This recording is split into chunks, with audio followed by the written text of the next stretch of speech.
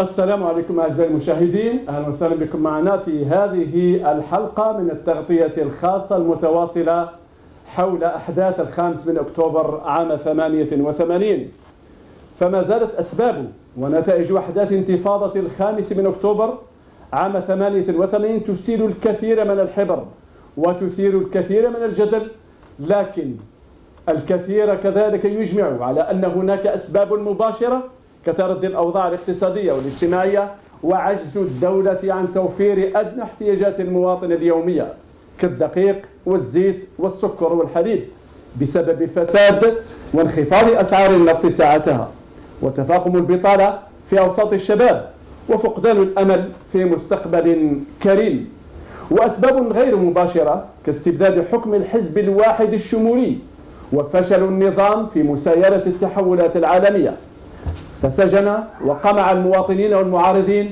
ونكل بهم. الخامس من أكتوبر 88 أرغم السلطة على القبول بدستور ديمقراطي يضمن حرية التعبير وإنشاء الأحزاب.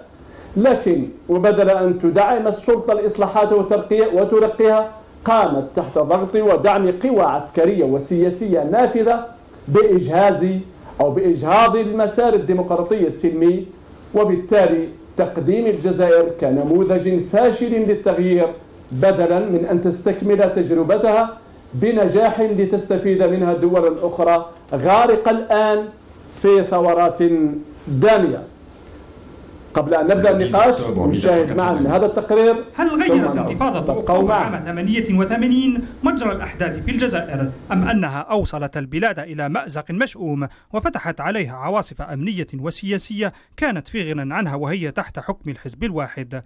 بعد مرور 27 عاما على هذه الأحداث الدامية ها هي الجزائر تعيش المأساة ذاتها تدور في حلقة مفرغة. حزب واحد يحكم أو يحكم به وبقية الأحزاب لا تتعدى أن تكون ديكورا في مشهد ديمقراطي تعيس. أما حال الاقتصاد فهو هو لم يتغير بقيد أنملة النفط هو قوت الجزائريين وإن هبطت أسعاره في الأسواق الدولية جاعت البلاد وتخاصم حكامها. الرئيس الشاذلي بن جديد وعد في خطابه الشهير الذي تلا أحداث الخامس من أكتوبر بدستور جديد يمهد لإصلاحات سياسية واقتصادية. ومن حزب واحد ظل يتسيد منذ استقلال البلاد فاق عدد الأحزاب المئة. بعد عامين ونيف من هذه الأحداث نظمت أول انتخابات ديمقراطية وتلتها أخرى عام 91 وكانت بعد الانقلاب على نتائجها آخر انتخابات حرة ونزيهة تشهدها البلاد. وأقيل الشادلي وحدث ما يعرفه الجميع اغتيالات ومجازر حتى فاق عدد الضحايا ربع مليون جزائري. والأخطر من ذلك أكثر من ربع قرن من عمر الشعب الجزائري ضاع في التطاحن على السلطة. تطاحن ما كان ليحصل لولا الانقلاب على مكاسب انتفاضة أكتوبر. اليوم لم يبقى من أكتوبر إلا العبرة والذكرى في مسيرة نضالية من تاريخ الجزائر لم تتوقف إلى اليوم. وقفات كثيرة في هذه المسيرة تستدعي أكثر من قراءة. لماذا غيرت انتفاضة أكتوبر المشهد السياسي من الأحادية إلى التعددية لكنها فشلت في نقل الجزائر إلى الديمقراطية الحقيقية؟ من المسؤول عن إعادة الجزائر إلى المربع الأول إلى حكم أحادي باسم التعددية؟ من يتحمل مسؤولية تعطيل الجزائر؟ من المسؤول عن المظالم والدماء التي تسيل في كل مرة تكون فيها البلاد على موعد مع انتقال السلطة من رئيس لآخر ليس بانتخابات الشعب وأصواته ولكن بألاعيب ومسرحيات حفنة أفراد يديرون الجزائر من خلف ستار حديدي. لنبدأ النقاش في أسباب ونتائج 5 أكتوبر أو أحداث 5 أكتوبر. معي الدكتور إسماعيل معراف الباحث الأكاديمي والمحلل السياسي من الجزائر. بعد الترحيب بك الدكتور إسماعيل معراف في رأيك ما هي الأسباب المباشرة التي أدت إلى اندلاع انتفاضة الخامس من أكتوبر؟ اولا آه، شكرا وتحية لكل المشاهدي قناة المغربي القناه اللي تصنع الحدث الآن صراحة واللي هي الصوت الأخير بالنسبة لكل الأحرار. في الجزائر وأيضا في منطقة المغرب العربي. شكرا جزيلا. التقرير أجاب على الكثير من نعم. الأسئلة التي يمكن أن تطرح وأيضا بطريقة ذكية جدا نشكر من قام بهذا التقرير آه، أنه يعني صراحة لم لم لم يكذب راح مباشرة إلى نعم. آه، حقيقة عمق وماهية الأحداث 5 أكتوبر وأنا شخصيا كتبت عن 5 أكتوبر الكثير من المقالات وأيضا لدي كتاب في هذا المجال وأيضا أنا شخصيا عشت أحداث 5 أكتوبر وكنت شابا لسه متخرج من الجامعة وشاركت أيضا في تلك المظاهرات داخل العاصمة. وكنت نشوف أن تلك الأحداث صراحة لم تكن مصطنعة وأيضا لم تكن هذه تلك الأحداث ربما بفعل فاعل. آه، رغم ان النظام حاول أن يستعمل الكثير من الألاعيب ويقول بأن نعم.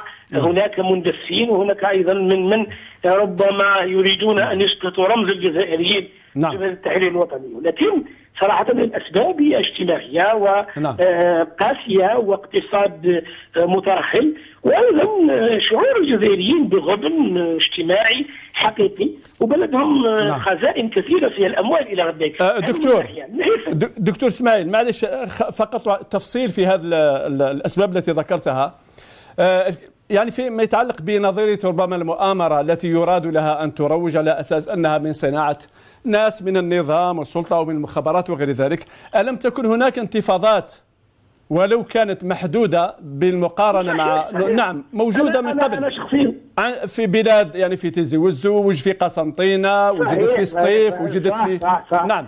أنا كنت أنا كنت لما عملت هذا الديباجة نعم. آه، أردت من خلال هذا الديباجة أن آه، أستحضر المشاهد الكريم خصوصا ممن لم يعيشوا تلك الأحداث وأيضا نعم. ممن ربما لم يشعروا بالحظ أن يعرفوا ماذا حدث بالضبط في 5 أكتوبر قبل 5 أكتوبر الوضع الاجتماعي والسياسي في البلد كان وضع سيء وكانت مظاهرات وكان قمع قوي من طرف البوليس السياسي ومن طرف آه، كثير من من المندسين آه، داخل النظام والذين صراحة كانوا يراهنوا على أن الجزائر يمكن لها أن آه، تنهض وأن يكون لها نظاما ديمقراطيا ودولة وكانوا أشخاص صراحة وزمر وللأسف إنه نفس الوضع ونفس التشكيل من يحكمنا إلى غد. ما زال لغاية الآن أنا أتذكر في تلك الفترة أيضا إنه مع نهاية الثمانينات بدأ العالم يتغير إذا كان تذكر. نعم. الان نشعر هناك من ما يسمي بال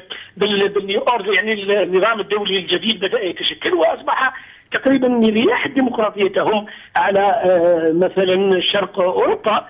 والأخبار أصبحت تتواتر والجزائريين أصبحوا تواقين نعم. ينظرون مثلا ماذا فعل ليجباليزا في بولونيا هذا النقابي الرائع الذي استطاع أن يدك النظام الحاكم في بولونيا وفي أوروبا الشرقية بشكل عام إلى غد من هنا أعتقد أنه بدأت ال... وأنا أتذكر عندما كنت أذهب إلى الملاعب كنت كانت الخطابات التي أو التشجيعات المتفرجين والمشجعين هي كلها سياسية وكلها أيضا تنتقد النظام وتنتقد جبهه التحرير الوطني. وتذكر بأن كان إحدى الشعارات مثلا أنصار مولودية الجزائر ومساعديه سراق المالية الخبز والماء ونحكم تحليمه كناية لزوجه الرئيس الشادي بن رحمه الله في تلك الفترة إلى غدا وبالتالي أنه كان فيه وعي سياسي إلى غدا وأعتقد أنه 5 5 نعم. أكتوبر أبقى معي دكتور إسماعيل. أبقى معي شكرا هذه الديباجة الوافية في كمقدمة وكتفصيل لأسباب ما حدث في ما أدى إلى 5 أكتوبر. ينضم إلينا الدكتور عبد عبد العالي آه، رزاقي أستاذ آه معنا يعني أستاذ سعد بوعقبه الكاتب الصحفي من الجزائر. أهلا وسهلا بك أستاذ سعد. أهلا وسهلا. نعم. أستاذ سعد أنت يعني كنت حتى من الصحفيين الناشطين كثيرا في تلك المرحلة وأذكر أنك كنت تنشط كذلك في آه، حركة الصحفيين الجزائريين. يعني هناك من يق... من قاد هذه آه، الانتفاضة؟ هل هو الشعب وحده أم هناك سياسيون كانوا قد أطروا هذه المسيرة. حسب ما يقول الكثير يعني نريد أن نفهم من رجل عايش المرحلة بقلمه وكذلك بملاحظاته وكمواطن جزائري. تفضل. هذا الأمر أنا يظهر أنني كتبت في الموضوع في الذكرى الأولى لأحداث أكتوبر في 89 نعم. وطرحت السؤال على آه، مجموعة من من الفاعلين السياسيين في ذلك الوقت. منهم المرحوم قاسم مرباح اللي كان رئيس الحكومة. أيوه. ومحمد شريف السعدية اللي كان وقت الحزب في في الحزب وقت الأحداث. ونكح العياط اللي كان مسؤول الأمن. والهادي الخزيري اللي كان وزير الداخلية. مجموعة تاع تاع الشخصيات. سألتها سؤال واحد. أيوه. شكون طلع 5 أكتوبر؟ أيوه. النتيجة اللي انتهيت إليها أن الأمر آه، وهذا الكلام منشور في مجله الوحدة في وقته. نعم. حتى خالد نزار حتى خالد نزار آه، سألته نفس السؤال لأنه كان قائد قائد العمليات في في الجزائر في الحصار. نعم. وكان السؤال من هو من صنع 5 أكتوبر؟ وانتهت آه، انتهت إلى حقيقة أن الأمر كان هوشة بين الجناح السياسي في الحزب الحاكم والجناح العسكري في في هذا الحزب. حول من يعين الرئيس بعد المؤتمر اللي كان مطروح في ذلك الوقت. الجناح العسكري يريد المحافظة على فكرة أن الجيش من صلاحياته تعيين الرئيس والحزب يزكي. والحزب في ذلك الوقت باعتماده على الجناح الجناح الإسلامي اللي آه، تنامى داخل جبهة التحرير آه، رأى في نفسه أنه من من النضج وصل إلى درجة أنه بإمكانه أن يفرض رئيس مدني. نعم. يعني حكاية تمديد الحكم الجارية الآن كانت في صلب المعركة في ذلك الوقت. والشادي بن جديد حسب ما قال لي في ذلك الوقت قائد المخابرات اللي هو المرحوم لك العياط أنه طلب منهم إعداد تقرير فيما إذا كان هذا الحزب اللي راه يعطل في الإصلاحات لأنه حاول إصلاح إصلاح الوضع عن طريق تعديل الدستور ما عن طريق الميثاق ما عن طريق عده إصلاحات ما مشاتش وشاف اللي الحزب هو اللي عطل في هذه الإصلاحات حب يدير مظاهرات للإطاحة بهذا الحزب وبتوصيه من من ميتيران في ذلك الوقت لأنه قال له هذا الأبدان إذا كان العلاقات تتحسن مع فرنسا لابد من من انتهاء من الجيل تاع الأبدان هذا اللي كان موجود. وهذا وهو ما كان. حقيقة الأمر تم أن جناح السلطة هو اللي تعاون مع المساجين ومع الناس الغامضين وخرجوا للشارع ويعيطوا مساعدية الطريقة المالية في البداية كانت هكذا الشعارات لكن نعم. فيما بعد عندما آه، دخل على الخط الشعب الغاضب لأن كانت فيه مشاكل اجتماعية ولاو يعيطوا الشادي أساسا يعني ما بقاش الأمر يخص بلا فلان وإنما يخص حتى بالمجموعة كاملة نعم لكن ثم تطور ثم إيه. تطورت الأحداث أيوه إلى أن ولات مواجهة بين الشعب والجيش أيوه يعني يعني الاحداث دخل الإسلاميون على الخط. وأنتم تعرفوا باللي في في وقت الحصار آه، والجزائر في اليوم العاشر والبلاد في حاله حصار نعم. يركز يعني بالحاج ومجموعته يخرجوا آه، مسيرة وأنا مشيت فيها آه، من من بلكور إلى باب الواد. نعم. أنهم لما وصلوا قدام قدام المديريه العامه للأمن وقع الطانيك وواحد من من نعم. من المفسدين أطلق النار.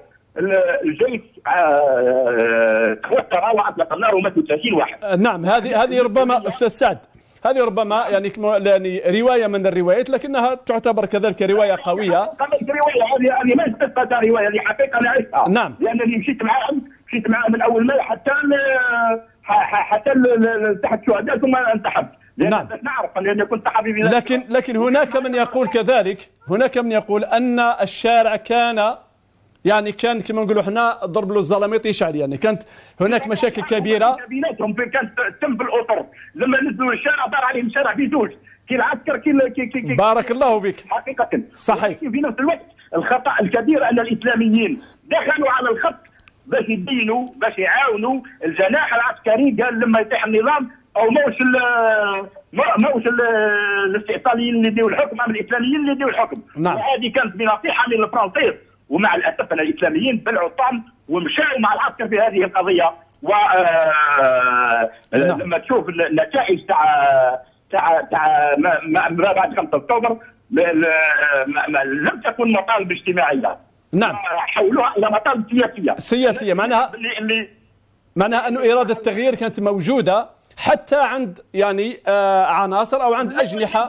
موجودة. لا ما لم تكن موجودة في السلطة ابدا. نعم. التغيير لم تكن موجودة في السلطة. لا في الحزب الحاكم ولا في المؤسسة العسكرية. أيوة. كانوا يضربوا من يعين الرئيس. هذا هو كان الاساس نعم هذا هو الأساس. التغيير في زوج. نعم لكن اراده التغيير كانت موجودة عند عند الشعب. ربما لقيت كانت موجودة. نعم. عند الشعب كانت موجودة. ولكن بر... للأسف أن الإسلاميين آه، قدموا روحا كبديل لجبهة التحرير. ولعبوا اللعبه تاع ينسقوا مع العسكر وبقى تنسيق حتى ما بعد 5 أكتوبر وهو ما أدى إلى الكوارث اللي وقعت في البلاد وهما يتحملوا جزء من المسؤولية فيها. نعم. ما ما تسمحوش ما, تسمحوش للتغيير يتم مدنيا. آه، هما عاونوا العسكر أيضا. لكن هناك من من يقول كذلك أن هناك قوى لم تكن وحتى بعض الإحصاءات أو بعض الاستشرافات من فرنسا في انتخابات مثلا آه، البرلمانية كانوا يقولوا أن الإسلاميين لن يحصلوا على أكثر من 28% وغير ذلك. وبالتالي كان هناك من استغل آه، يعني ال ال ال الإسلاميين بطريقة أو بأخرى أو وجود الإسلاميين من أجل نعم آه، فقدنا الاتصال مع السيد سعد بوعقبة. سيعود إلينا إن شاء الله بعد قليل عندما يعيد الإخوة آه، وضع الخط معه. أعود إلى الدكتور إسماعيل آه، معرف. دكتور إسماعيل هل ما زلت معنا؟ لا معك معك ولكن نعم. أتمنى أن لا يكون العودة اضطرارية فقط. آه، أهلا وسهلا بك شكرا جزيلا. الدكتور إسماعيل نعم. الدكتور إسماعيل معرف. آه كثير يقول أن الأسباب كانت موجودة وأن هناك انفجار وشيك وإنما بطبيعة الحال الأجهزة الاستعلاماتية كانت تجمع المعلومات وأراد أراد السلطة أن تستحوذ أو أن تحتوي آه، يعني آه، هذه آه، الانتفاضة القادمة التي كانت المتوقعة وأن تجعلها تسير ربما في مسار يمكن التحكم فيه لاحقا.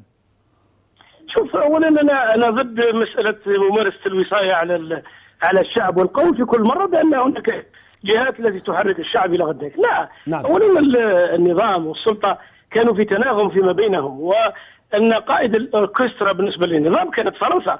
وأنا أتذكر في تلك الفترة أن فرانسوا ميتيران وزوجته دانيال ميتيران كانوا هم الذين يتحكمون في القرار السياسي السيادي الجزائري والشادلي وجماعته لم يكونوا إلا خدام للفرنسيين مثل ما كانوا قبلهم المسؤولين في في هذه الدولة الجزائرية. وللأسف إنه ما زالت مستمرة إلى غداك الانتفاضة 5 أكتوبر هي انتفاضة شعبية حقيقية.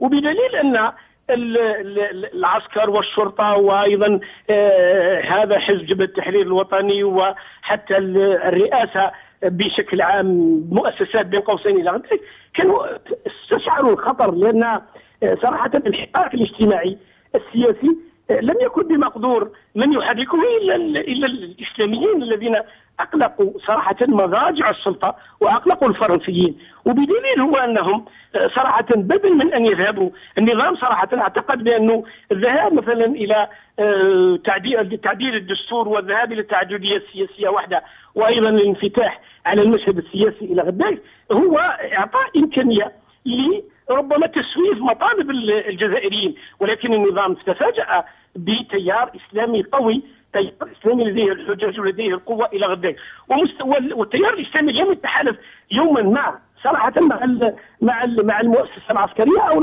أو أو العسكريين بشكل عام إلى غدا بل كل ما في الأمر هو أنه آه، صراحة آه، آه، أراد بالوطنيه التي يحملها التيار الإسلامي الحقيقي وتكلم هنا عن الجبهة الإسلامية للانقاذ وأيضا كل الذين كانوا يشتغلون في التيار الإسلامي الأصيل الذي كان مبني على آه، مقاربات وطنية حقيقية تريد أن تخرج البلد وتنقذ البلد من من من من من, من براثين صراحة الاستبداد السياسي وأيضا من العمل لفرنسا.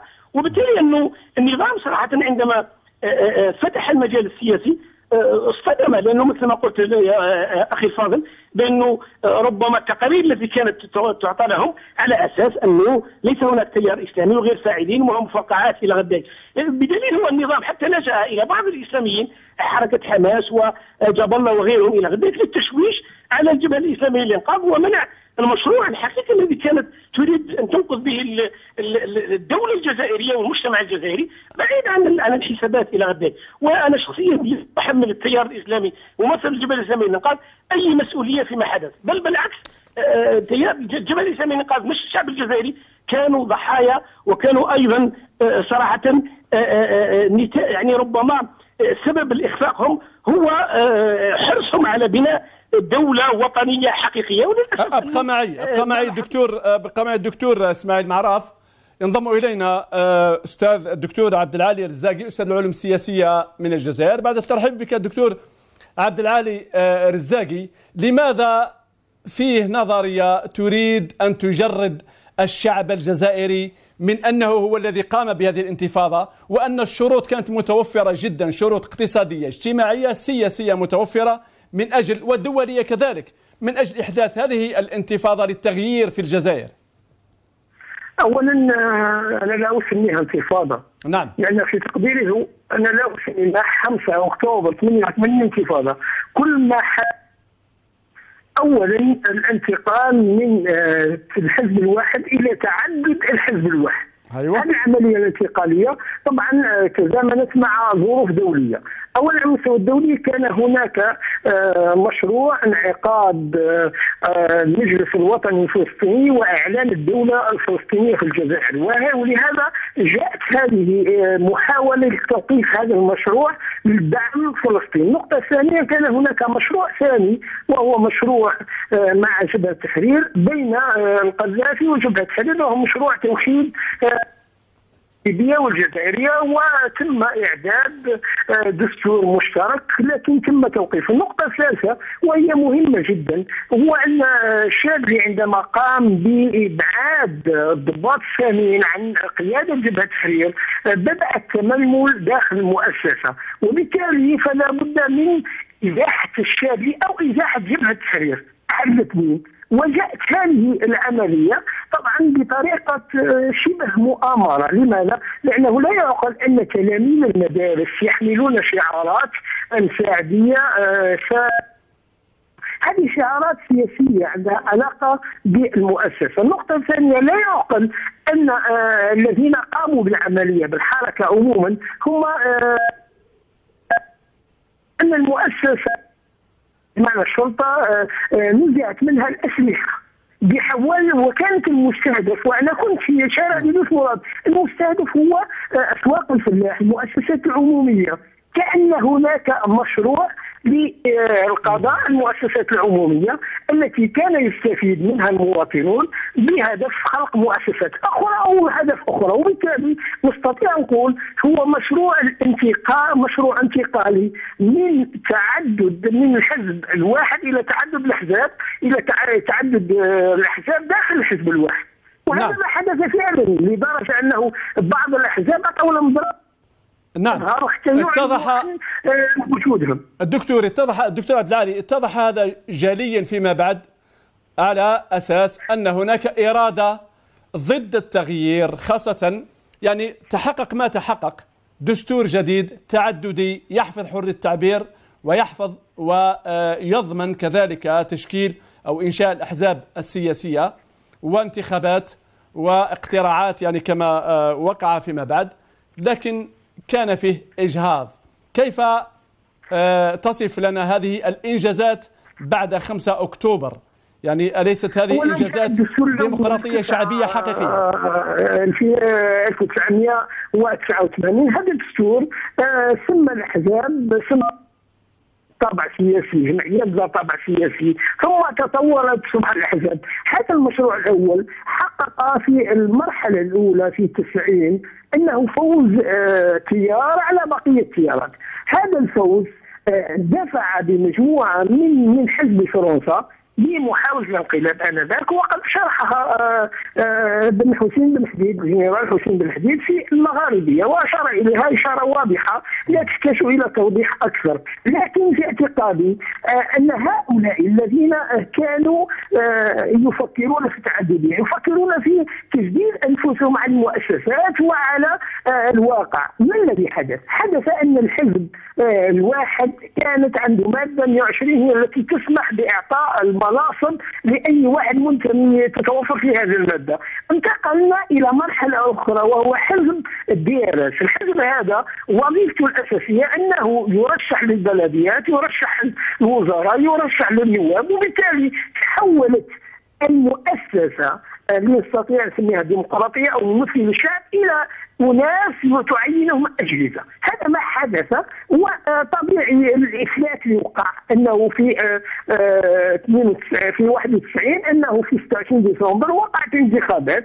وهذه الانتخابات طبيعي فاز في فاز بها الجبهة الإسلامية للإنقاذ ب 3 ملايين صوت نعم. ونصف صوت بينما جبهة التحرير آه، فازت بمليون آه، ونصف. نقف نقف عند هذا دكتور دكتور عبد العالي. دكتور عبد العالي نقف عند هذه النقطة. ألا يدل هذا على أن الشعب يعني في ذلك الوقت يعني ملايين من الناخبين ملايين من الشعب الجزائري في الشارع الذين شاركوا في انتفاضة 5 أكتوبر وما بعد انتفاضة 5 أكتوبر ذهبوا إلى الصناديق واختاروا حزب ما في ذلك الوقت الجبهة الإسلامية الإنقاذ كحزب قوي جدا. استقطب الشباب استقطب الفئات المحرومة استقطب كل الذين يريدون التغيير من جميع التقريب الفئات ومن جميع تقريب الأعمار وحتى بعض التيارات الذين مشوا مع الجبهة الإسلامية إنقاذ ألا ترى في هذا بأنه كانت تجربة كبيرة وقوية لكن كانت هناك قوة أكبر منها وهي قوة الإجهاض عن طريق العمل العسكري والقمع والتنكيل وغير ذلك. أعتقد بأنه أي حزب لو فات بالاغلبيه ستكون نهاية نهاية الجبهه, الجبهة الإسلامية للانقاذ. نعم. إذا السلطة ضم آه، أي فوز ل آه، ما كان مهما كان جبهة التحرير كانوا يتوقعوا بأنها تأخذ نحن وجاءوا ببن بله وجاءوا بمجموعة كبار على أساس أنت تعيد تسترجع آه، المقاعد وتصبح عندها شرعية الحكم عن طريق الدستور، لكن المشكلة ما الذي حدث؟ حدث أن هؤلاء الذين كانوا يرفضون التعددية عندما رأوا حزب آه، ضم آه، مختلف الشرائح الاجتماعية ومعارض والكف عليها كل المعارضين الكفوا كل الناس اللي ضد الحزب جبهة الحرير ذهبوا إلى الجبهة الإسلامية وقال وأنا شفتهم كيف يسجلون يدفعون 100 دينار وياخذ يأخذ ورقة بانه عضو في جبهه في الجبهة الإسلامية وقال هنا وقع خوف ثاني. أكثر من محاولة الانقلاب الأولى. إنه هؤلاء قد يهددون مصالح. وبالتالي اتخذ قرار. اتخذ قرار اجتمع المعلومات المتداولة. اجتمع 20 أو 25 ضابط سامي جنرال في آه، سيدي فرج وقرروا إزاحة الشاذلي ولكن الرسالة وصلت للشاذلي قبل ازاحته نعم. فقدم استقالته آه، مجبرا على ذلك. وبالتالي آه، بداوا يبحثون عن البديل. نعم. ألا يدل هذا ألا يدل هذا دكتور عبد العزيز الرزاقي ألا يدل هذا على أن فعلا انتفاضة 5 أكتوبر كانت انتفاضة شعبية فليقول القائل ما يقول أنها كان من وراءها مخابرات أو مؤامرة أو صراع بين جناحين عسكري وافلاني وغير ذلك لكن كانت شعبية.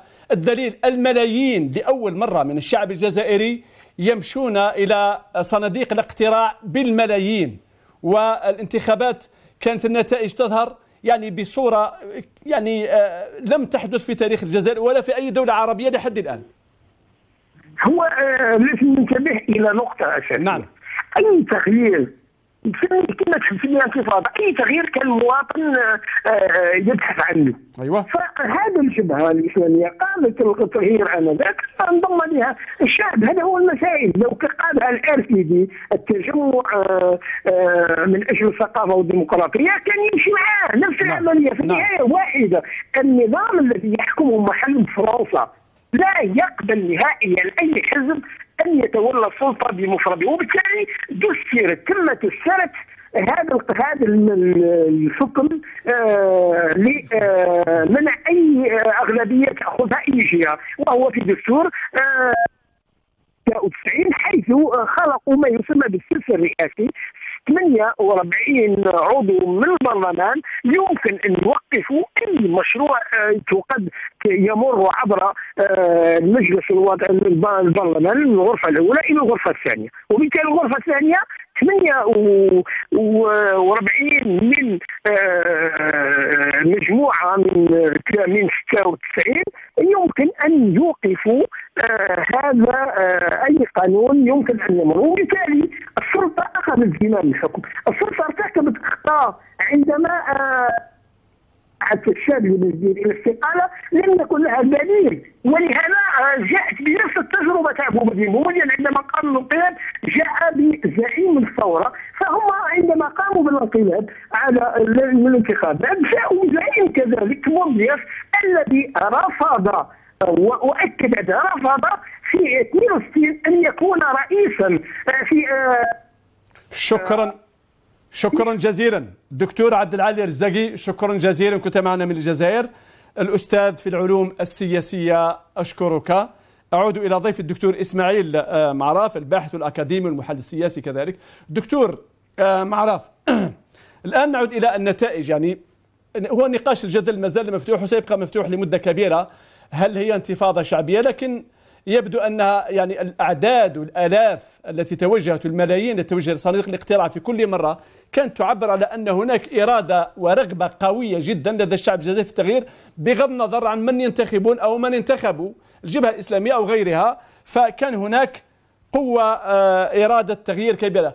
كيف كيف يعني استطاع النظام الجزائري أن يجهض هذه المكاسب الرائعة التي كانت تحسب له؟ يعني لو بقي المسار الديمقراطي على حاله وصارت الجزائر نموذجا ناجحا في التغيير الديمقراطي والتحول لكانت الجزائر اليوم في أحسن حال ورائدة في العالم العربي وربما حتى في العالم آه، يعني ما بعد سقوط الاتحاد السوفيتي.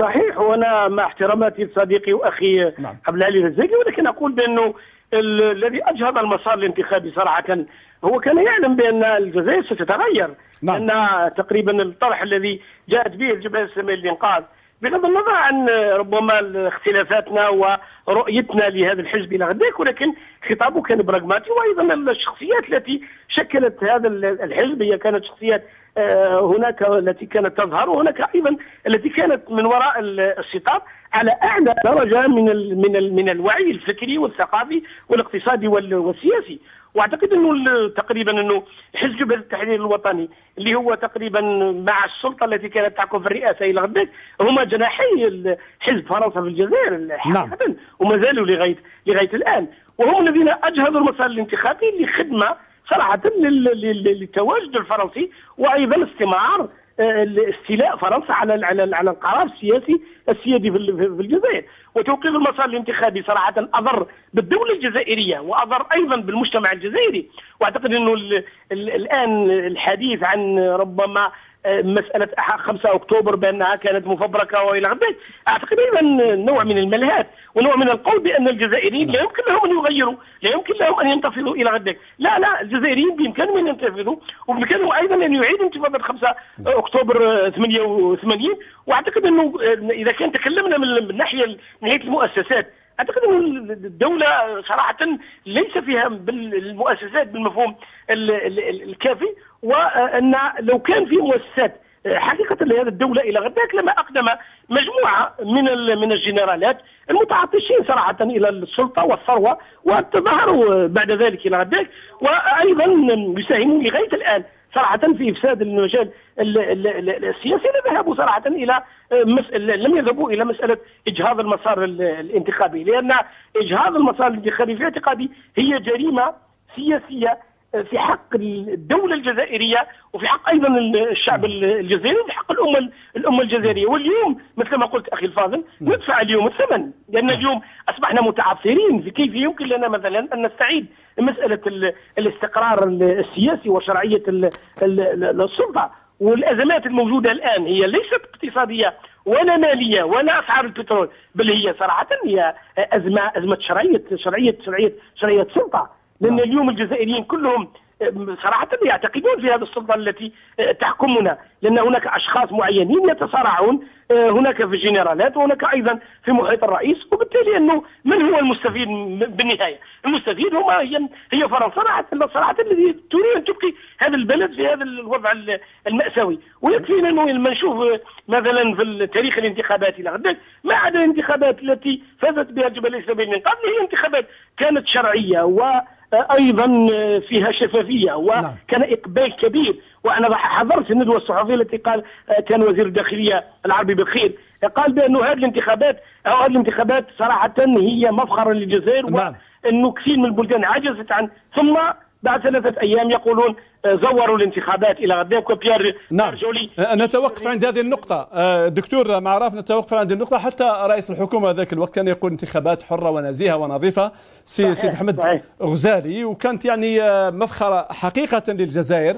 وكانت الجزائر بدل أن تسن للتغيير السلمي الناجح التجربة الناجحة سنت للأسف لكيفية إجهاض محاولة التغيير في الجزائر. وكانت الكارثة اليوم كنا سمعنا حتى على قناة المغاربية آه، الجنرال المتقاعد الذي الآن هو في السجن آه، السيد آه، بن حديد سيد حسين بن حديد أنه قال بأن إرادة الانقلاب كانت موجودة حتى قبل التسعين قبل عام 1990 يعني بعد التغييرات بعد تغيير الدستور كانت موجودة إرادة الانقلاب على الشاذلي بن جديد. وأجلت فقط نتيجة آه، اجتياح النظام أو الجيش العراقي لي آه، في عهد صدام حسين للكويت وكانت أمور دولية تمنع من آه، ذلك. ألا ترى أن تصريحات الرجل الأخيرة بدأت تدل على أن هناك صحوة ما عند بعض الرجال الذين عملوا في هذه الفترة وهذا ربما مؤشر إيجابي يجب استثماره أه، والله أنت أعطيتني الفرصة أني نجيب نعم. على السؤال اللي كثير من من يعرفونني يطرحون علي يوميا في الفيسبوك هذا السؤال نعم. ولكن قلت أنتظر لقناة تسألني ثم أجيب شوف أنا بالنسبة لي التصريح هذا الجنرال لا حدث لماذا؟ أيوة. لأنه ماذا ماذا كان يفعل؟ ماذا كان يفعل من قبل في المؤسسة العسكرية؟ أنا أعتقد أنه ال ال ال الكل مخطئ في حق هذا البلد أيوة. لأن أن تسكت على الظلم في وقته وأن صراحة أن تساهم في إجهاض مسار انتخابي ثم لا تتكلم. ثم بعد أن صراحة يصبح مسألة التقوي طرف على على على على الطرف. ثم ياتي تأتي هذا التصريحات وإلى محاولة صراحة صحوة الضمير إلى غدا أعتقد إنه هذه الأمور أنا شخصيا كخبير استراتيجي نعم. لا أعتقد إنها تفيدني. كل ما في الأمر أيوة. أعتقد إنه لابد أننا نفتح النقاش عن من هم المسؤولين الحقيقيين ولا تأخذنا العاطفة بفعل ما يحدث لأن الآن في تراشق بين أشخاص نحن لسنا معنيين بهم كجزائريين أيوة. نحن ما نريده صراحة الأستاذ على الأقل كشهود على الأقل كشهود لأن لأن الشهود كلهم آه يعني آه خرساء إذا صح التعبير لكن هناك والله, أستاذ والله اكبر اكبر أكبر الشهود اسمح لي نتكلم نعم. الآن بهدوء أكبر الشهود هم ال ألف الذين ماتوا والشعب الذي شرد نعم. والآن المخطوفين الذين لا نعرف عليهم شيء. وأيضا الآن الغلق الغلق النافذ عن الكفاءات والإطارات القادرة على لا تخرج هذا البلد من ازمتها إلى غداك هذو أكبر شهود ولا لسنا محتاجه أنا شخصيا لست محتاج لا لشهادة الجنرال ولا لماذا؟ لأننا عاصرنا وشفنا وعرفنا الكواليس وعرفنا حتى كثير من الصحفيين الذين يدافعون عن هذا الجنرال لأسباب مصلحية كذا.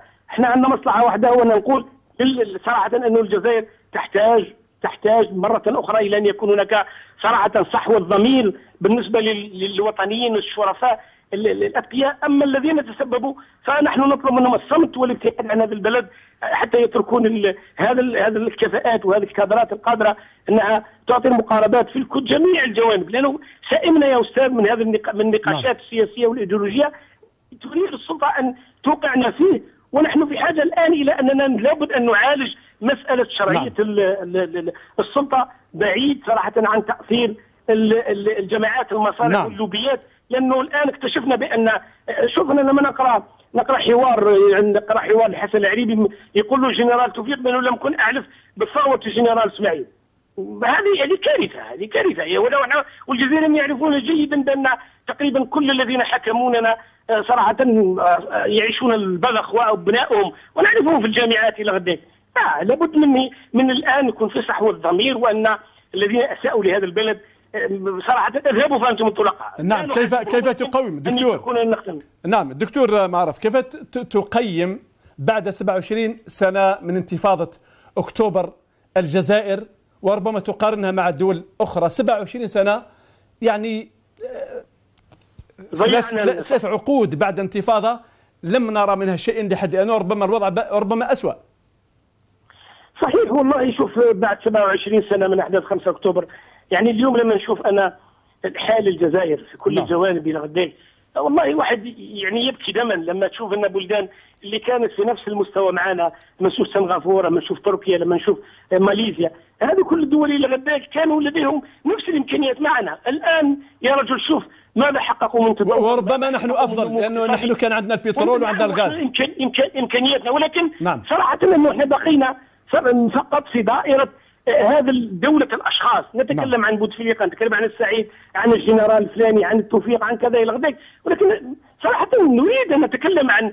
عن مستقبل هذا البلد. نريد أن نتكلم عن اقتصاد هذا البلد عن التعليم عن التربية عن التكوين عن السياحة نعم. عن الثقافة عن الخارجية عن وجود الجزائر صوت الجزائر في الخارج. يا رجل كثير من في العالم لا يعرفون لا يعرفون الجزائر لا يعرفونها بسبب تقاعس في ملايين من الدولارات تصرف على دبلوماسيتنا. سفراء سفراءنا ودبلوماسينا وقراصنة موجودين فقط من أجل الارتشاء ومن أجل أيضا أنهم يستجمعون الأموال إلى غداك ولكن من من يدافع على صورة هذا البلد؟ من يدافع على على هذا الشعب اللي هو صراحة أنجز نعم. ثورة في التاريخ هل يجب دكتور دكتور هل يجب أن يخرج الشعب الجزائري لكن بصورة سلمية ودائما يخرج مجرد ومعزول؟ يجب أن يخرج والله والله من أجل أن يستكمل؟ أستاذ. نعم. الشعب يستطيع أنه يدير عصيان مدني أيوة. على طريقة غاندي أن لا يخرج من ب... أن, يخ... أن لا يذهب إلى العمل ولا يخرج البيوت من بيوته حتى يعبر يعبر يقول يقول لهؤلاء الذين يحكموننا ارحلوا ارحلوا سامنا منكم نعم. لأن نريد أن نبني هذا هذا لهذا البلد لا نريد دم لا نريد نار لا نريد دمار نريد فقط أن تذهبوا عنا وترحلوا عنا وخذوا ما تريدون أنتم أخذتم كل شيء خذوا ما تريدون واذهبوا إلى فرنسا. أمكم العزيزة والحنونة إلى غداك واتركوا لنا نبني هذا البلد لأن لدينا الكفاءات الموجودة في الخارج. بس واش تهجر كل الكفاءات. لماذا تهجرون أنتم في لندن؟ لماذا يهاجرون في الخليج الحرارة المدقعة؟ لماذا الكفاءات؟ أنا أنا لقيت كفاءات في كثير من بلدان في الخارج يبكون يريدون أن يقدموا. ولكن الجزائر ليست ليست شركه يا أستاذ. نعم. صار.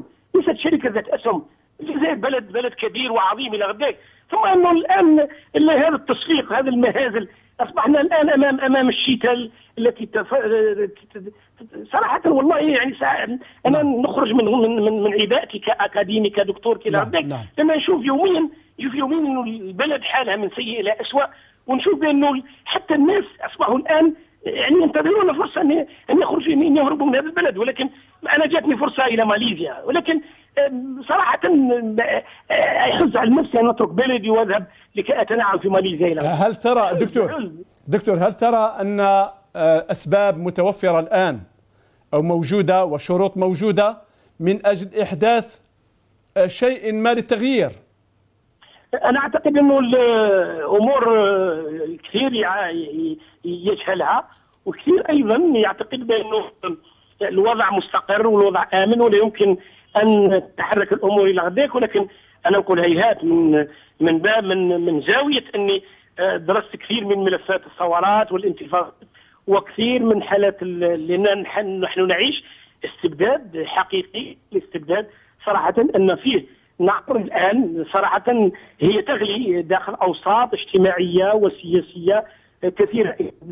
وممكن صراحة هذه الأوضاع تنتظر فقط ثقب ثقب الكبريت ثقب نعم. الكبريت وأعتقد إنه إذا كان لم يتس لم يت لم يت يسارع الوطنيين والشرفاء الموجودين في كل المؤسسات في كل المؤسسات وكل الأحزاب لانقاذ هذا المهازل التي تعيشها البلد إلى غداك أعتقد أننا ممكن نذهب إلى يمكن أوضاع مأساوية يعني نتضرع إلى الله سبحانه عز وجل أنه أنه اننا نقع فيها لأن إن شاء الله. إحنا كجزائريين والظرف الذي نعم. عشناه نعم. إلى غداك يجعلنا أننا ربما نخاف على حتى على على على, على الدولة ولكن هذا لا يعني أننا نستسلم للدكتاتوريين والى القمعيين وكل هؤلاء المتلاعبين وهنا أنا شخصيا لا أقصد فقط نعم. لا أقصد فقط محيط الرئيس ولكن أقصد حتى محيط الجنرالات لأن القضية قضيه قضية وطن وكان من المفروض لهم يتصرفوا قبل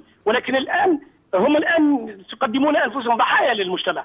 ولكن أين اين اين كانوا عندما كنا نحن نحتاج إلى هؤلاء من أجل أنهم يخرجون هذا البلد من هذا الأزمة؟ وكما يقول مثل الدكتور إسماعيل معراف أشكرك على بقائك معنا طيلة هذه السويعة.